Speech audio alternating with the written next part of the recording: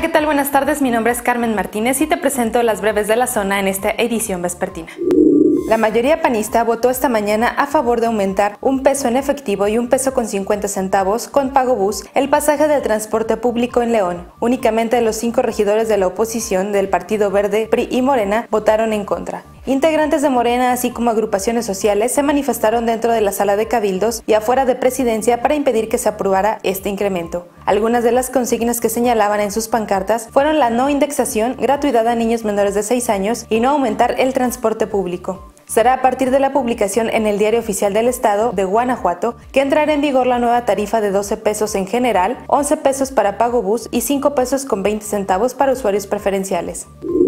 Aunque la dirigencia estatal de Morena aprueba que Beatriz Hernández haya hecho una asignación directa de 36 millones de pesos para la compra de 22 mil luminarias a una empresa de Hidalgo, argumentando que se trata de una urgencia de seguridad, Alma Alcaraz Hernández señaló que sería conveniente que este tema fuera transparentado y aclarado con la Contraloría Salmantina. La dirigente estatal de Morena, Alma Alcaraz Hernández, señaló que según una plática previa que sostuvo la alcaldesa Beatriz Hernández, esta explicó que se tenía que hacer un cambio de luminarias de manera urgente como una medida de combate a la violencia sin embargo, agregó que Morena estaría solicitando a la alcaldesa que transparente el proceso de compra de estas luminarias y que explique por qué se contrató una empresa distribuidora de celulares.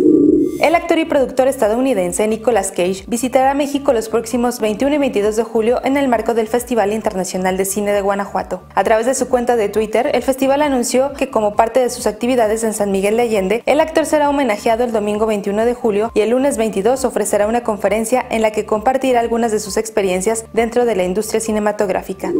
Más de 120 países en competencia, un panorama completo de la cinematografía mundial.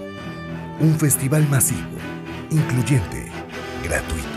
Festival Internacional de Cine, Guanajuato.